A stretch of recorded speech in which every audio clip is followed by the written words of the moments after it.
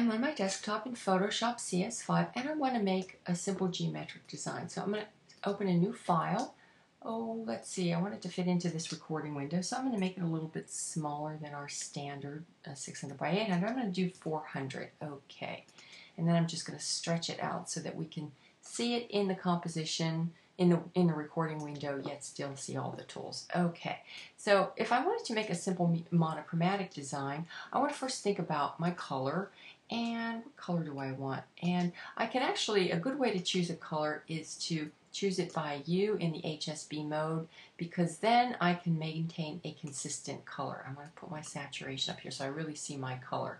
Let's see, let's go to oh, 15, let's see, 15 makes it the perfect red-orange. So now I have red-orange. And I want to think about my background first. So I'm going to fill my background color.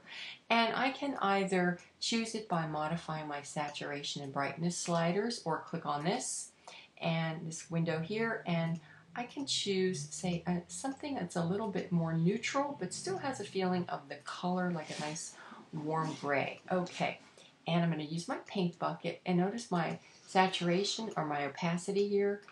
If I wanted it 100%, that's pretty dark, but I can actually reduce the opacity down and get, say, just close to 50% here. It's a lighter, more transparent color, but it's still within my monochromatic range. Okay, so the next thing I want to do is choose some shape. So I'm going to use a geometric shape, and now I'm just going to modify my color using the slider. So I want to make some neutral shapes in the background, and I want to think about, um, you know, engaging the edges of the composition, perhaps. Uh, uh, let me make that just a little bit more uh, neutral uh, so that they feel like these shapes are going off the composition. And I'm going to draw a few coming in this direction. As we move forward, maybe I can increase the brightness just a little bit to give a sense of richness of the color as it moves forward. And I want that to be a little bit longer. Okay, a little bit brighter here. And a little bit brighter here and I'm actually marching across the composition here as I go. So making this one wider and oh, that'll work. Okay, so now I have a, a, a couple of uh, movement uh, elements that are moving the, the eye through the composition. And if I want to make this one, I have to use, if I want to delete something, Command Alt Z at the same time, right? Command Z will bring those two back. I just want to get rid of this one, so Command Alt C. I want to make that one just a little bit more narrow. Okay, and now what I want to do is make a few of these uh, getting a little bit darker in value, march off in this direction. Let's see.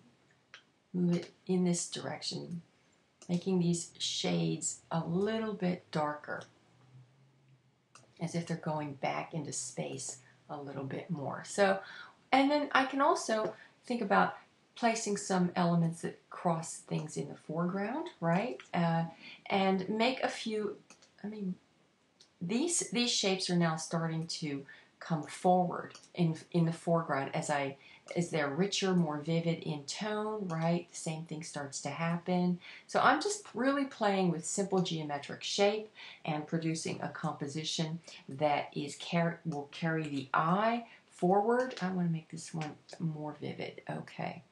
Okay.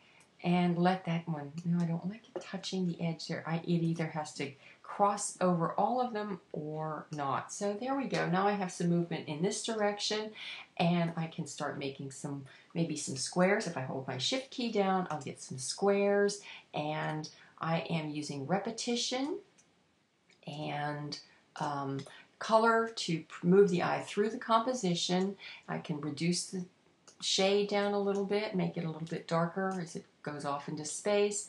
Uh, again, moving the eye through the composition. So essentially I am allowing shapes to go off the page and crop be cropped so that uh, I'm engaging the edges of the composition and moving the eye through space. And I have a very simple composition coming into play here with lots of shapes moving the eye around. So that's how you, you produce a simple geometric composition. You continue to modify saturation and brightness of the color for contrast.